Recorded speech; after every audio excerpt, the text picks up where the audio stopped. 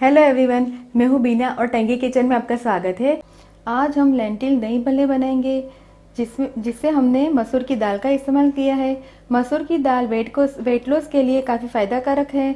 Liver, आँख और पेट के प्रॉब्लम के लिए भी दाल फ़ायदा कारक रहती है। कोलेस्ट्रॉल लेवल जो अप डाउन होता रहता है, उसको दाल है वो रेगुलेशन करती है।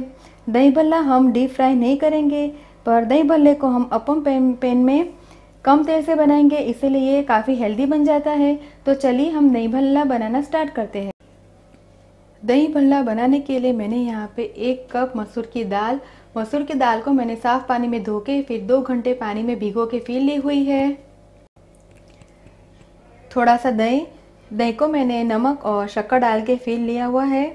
थोड़ी सी इमली की चटनी, थोड़ी सी सेव थोड़ी सी हरे धने की चटनी, आधा छोटा चम्मच बेकिंग सोडा, दो छोटा चम्मच तेल, नमक हम लेंगे स्वाद अनुसार, थोड़ा सा ब्लैक पेपर पाउडर, दो हरी मिर्च और एक छोटा टुकड़ा अदरक का, थोड़ी सी लाल मिर्च, थोड़ा सा भुना हुआ जीरू और तेल हम लेंगे भल्ला सेकने के लिए। तो चलिए हम भल्ला बनाना स्टार्ट करते हैं। सबसे पहले हम मिक्सी के जार में भिगोई हुई मसूर की दाल डालेंगे और हरी मिर्च और अदरक डालेंगे और थोड़ा सा पानी डाल के हम इसका पेस्ट बनाएँगे। दाल को मैंने पीस के बड़े बर्तन में निकाल लिया है। अब हम पेस्ट में स्वाद अनुसार नमक डालेंगे बेकिंग सोडा और ते, तेल डाल के इसे अच्छी तरह से हिलाएँगे। पेस्ट को हम अच्छी तरह से हिलाएँगे ताकि इसमें एरिएशन आए जिससे भल्ला है वो काफ़ी सॉफ्ट बनेंगे।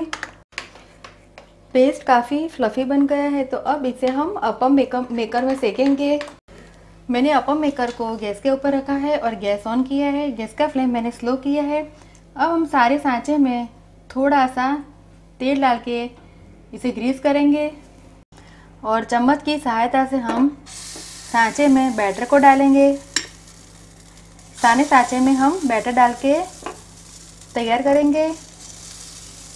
अब हम इसे ढक के दो से तीन मिनट बाद हम चेक करेंगे। दो मिनट हो गई है तो हम भल्ला चेक करेंगे। हम पलटा देंगे।